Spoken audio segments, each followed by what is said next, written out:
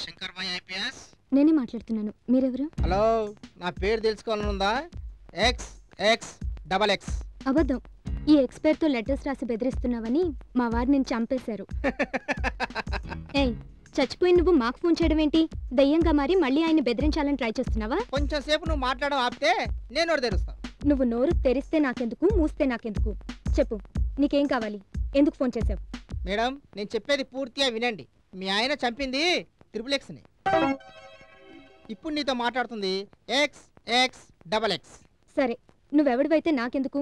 ముందు విషయం ఏంటో చెప్పు. చెప్తాను మేడం శంకర్ భాయ్ ఐపీఎస్ కంటే నీకే ఎక్కువ పొగరున్నట్టుందే. ఏయ్ పిచ్చి పిచ్చిగా వాగేవంటేనా? ఏం చేస్తావి?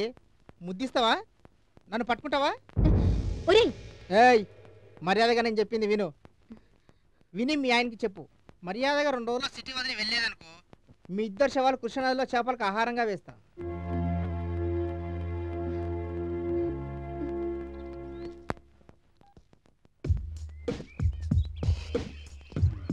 మీరు డబుల్ ఎక్సా అవును. నా పేరు ఎక్స్ అబ్జనా బాస్ పేరేంది? తెలీదు. తెలవదా? బాస్ పేరేందో తెలవదా? సరే కోన్ కిస్కా గాని నా పేరే నేను చెప్పుకునేందుకు భయపడతా? ఏహే ఆపరాయి నాసా. బాబ్జీ భాయ్ ఇంతకు బాస్ బిజినెస్ ఏంది? చూడు డబుల్ ఎక్స్ బాస్ గురించి ఎక్కువ డీటెయిల్స్ తెలుసుకోవడానికి ప్రయత్నం చేయొద్దు. అయిపోతావు. హలో.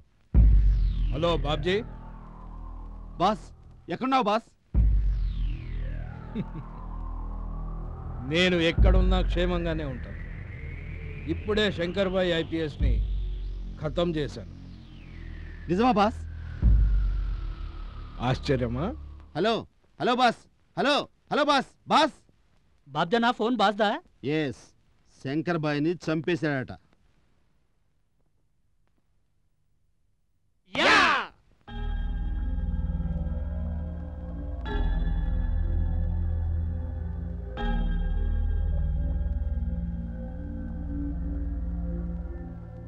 అమ్మా శాంతి.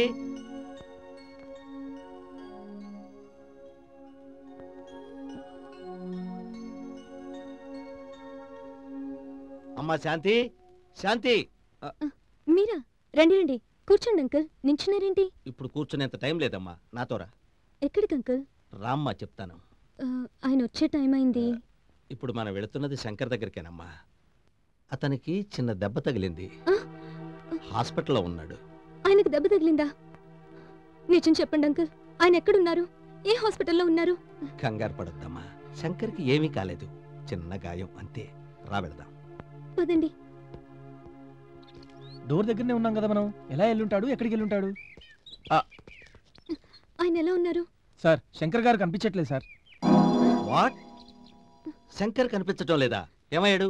అదే తెలియట్లేదు సార్. నేను రాని డోర్ బయటనే ఉన్నాం. లోపల ఉన్న శంకర్ గారు ఎలా మాయమైపోయారో అర్థం కాకుండా ఉంది సార్.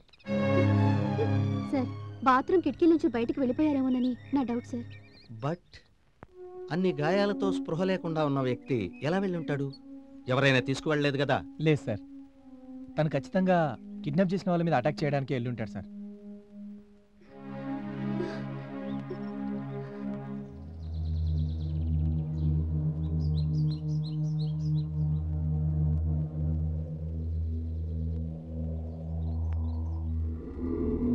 ఎస్